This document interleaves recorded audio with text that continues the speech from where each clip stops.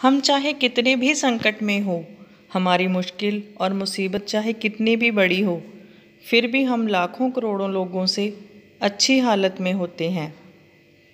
अगर हम ये बात समझ जाएँ तो हमारी परेशानी दूर करने के लिए ये समझ काफ़ी है।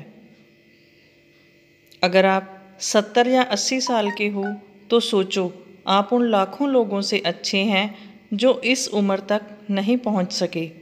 हॉस्पिटल में जाकर देखो, मरीज़ों की हालत देखकर आप अपने आप को तंदुरुस्त महसूस करोगे? मंदिर गुरुद्वारे में जाओ तो देखोगे, जिन चीज़ों के लिए लोग प्रार्थना कर रहे हैं, वो सभी चीज़ें पहले से ही आपके पास हैं। अगर आप पोते पोतियों की उम्र में हैं और आपके माता पिता आपके साथ हैं तो सोचो, आप कितने किस्मत वाले हैं। क्योंकि कई लोग बचपन में ही अपने माता पिता को खो देते हैं। और वो यतीम खाने में पलते हैं।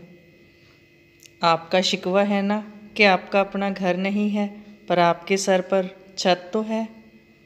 हमारे देश में लाखों करोड़ों लोग ऐसे हैं जो फुटपाथ पर सोते हैं।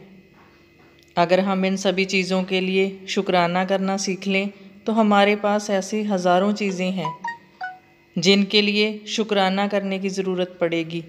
अपने आसपास ध्यान से देखो।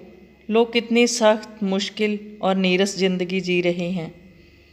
हम शुक्रिया करने की कमी के कारण ही उदास और मायूस होते हैं।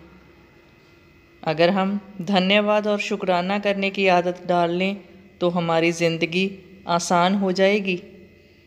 कुदरत ने हमें जो दिया है, अगर हम उसकी सूची बनाएँ तो हम कभी निराश नहीं होंगे।